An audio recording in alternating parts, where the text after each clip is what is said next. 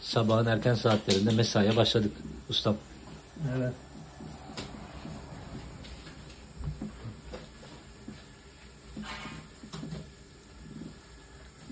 Maşallah makine gibi.